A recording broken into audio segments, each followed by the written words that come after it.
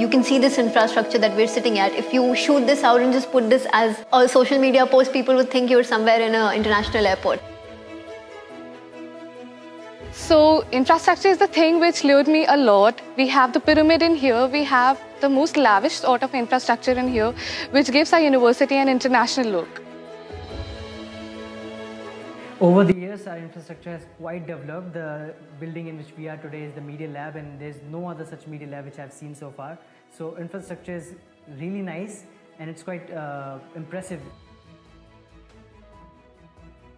everything from like campus is having everything from a swimming pool to a fully equipped library and uh, as, as we know that uh, library is the cornerstone of every education system I think it's wonderful.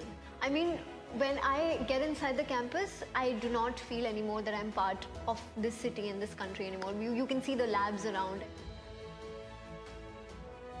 At the same time, when it comes to labs, we have today excellent facilities when it comes to editing labs and media labs. Like, uh, for example, the print lab. So whatever a student works, he or she can see it from this institute or any other institute or any other office what they have worked during their course. All we all are connected. Plus we have BFA uh, labs, we have the film and performing art course. So we have uh, animation labs. For that, our theater, which is one of its kind, know, not many institutions have theaters these days. So really efficient for all the filmmaking students as well as journalist uh, students.